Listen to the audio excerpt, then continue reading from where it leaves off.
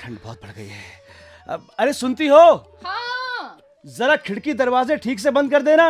अच्छा अभी करती हूँ। ठीक है। और हाँ बेटी? हाँ बाबा। तुम इधर आते समय ना हाँ। उधर रखी अंगीठी को इधर कमरे में लेती आना। जी अच्छा।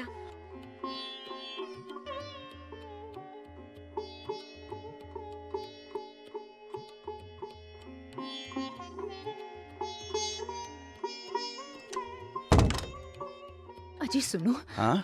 कितनी रात हो रही है अब और नींद भी तो आ रही है। क्यों ना हम सारे सो जाएँ? हाँ ठीक है। रुको माँ। मैंने आज अखबार में पढ़ा था कि अंगीठी को कमरे में रखकर सोने से एक परिवार के सभी सदस्यों ने अपनी जान गंवा दी। है? क्या? हाँ। वो कैसे बेटी?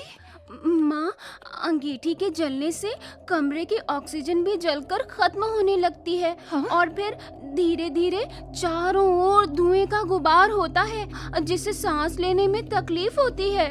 और अंत में ऑक्सीजन की कमी से इंसान की मौत हो जाती है। ये तो बहुत खतरनाक है बेटी। ठीक है। अब से हम भी इस बात का ध्यान रखेंगे। हम्म, कोई भी जलने वाली वस्तु कमरे में बंद करके नहीं सोएँगे। हाँ। शाबाश बेटिया शाबाश। तुमने आज हम सभी को बचा लिया। बाबा। हमें तुम पर गर्व है बेटिया गर्व है। हाँ बेटी। किसी ने सही कहा है कि बेटियाँ घर की शान होती हैं क्यों? मेरे बाबा। बंद कमरे में अंगीठी जलाकर सोने से दम घुटने लगता है और लोग अपनी जान गवा देते हैं।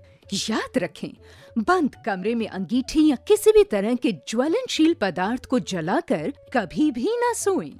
ये मौत को दावत देने जैसा है